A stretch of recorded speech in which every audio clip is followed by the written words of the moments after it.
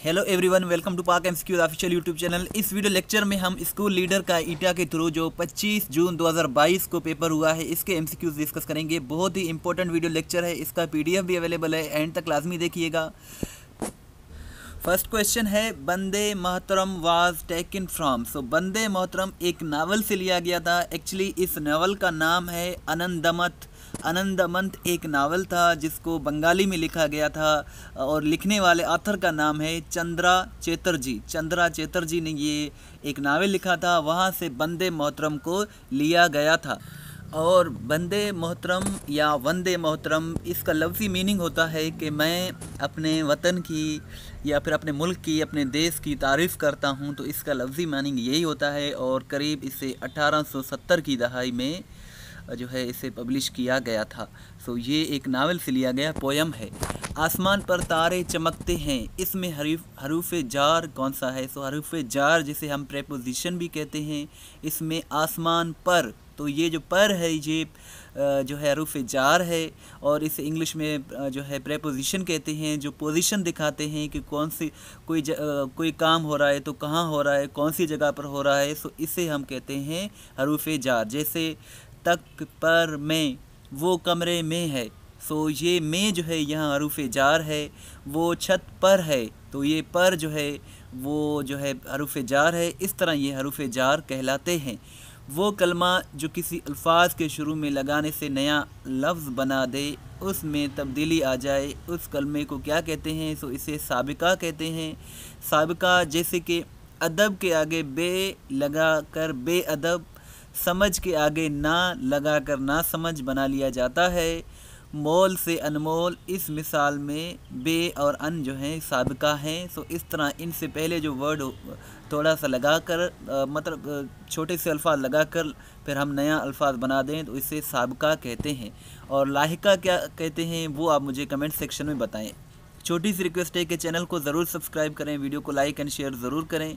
Next question कुछ इस तरह से है A A B A B D A B D G A B D G के अब नेक्स्ट जो वर्ड आएगा वो होगा ए बी डी जी के पी सो इस तरह अगर आप सोल्व करें तो यही इसका करेक्ट आंसर है।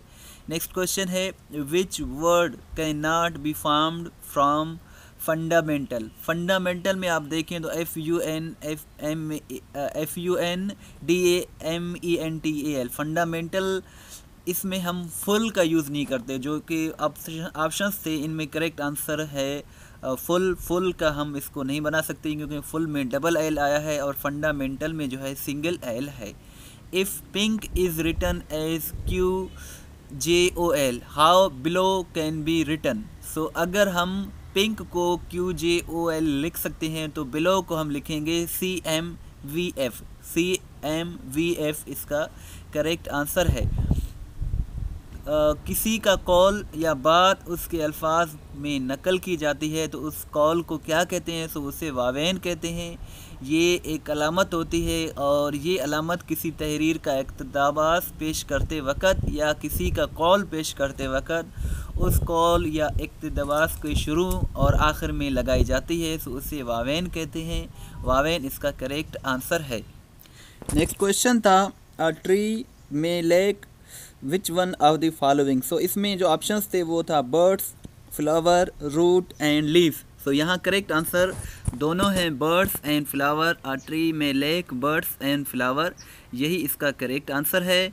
नेक्स्ट क्वेश्चन है if F F the B represents the phrase fortune favours the brave what phrase is represented by H is the B P so यहाँ करेक्ट आंसर है honesty is the best policy जिसे हम उर्दू में कहते हैं कि ईमानदारी एक बेहतरीन हमत इमली है।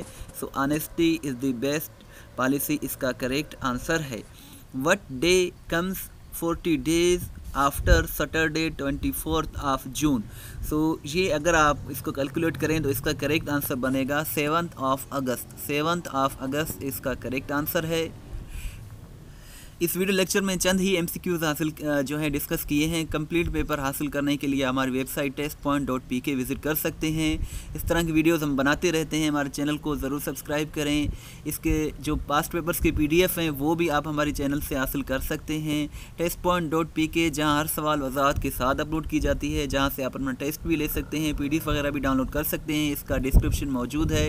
इसे आप ज़रूर विज़िट करें। यहाँ जैसे भी हमें क्वेश्चन मिल रहे हैं, हम अपलोड करते जा रहे हैं। अगर हमें व्हाट्सअप के स्टेटस में फॉलो करना चाहते हैं तो ये हमारा व्हाट्सअप नंबर है zero three zero eight two five double three triple zero इन इंस्ट्रक्शंस को फॉलो करें और इस वीडियो को लाइक एंड शेयर ज़रूर करें। इसका पीडीएफ भी अवेलेबल है, वो डिस्क्रिप्शन में दिया हुआ है। Thank for watching till end दुआ में याद रखें। अल्लाह हाफिज़।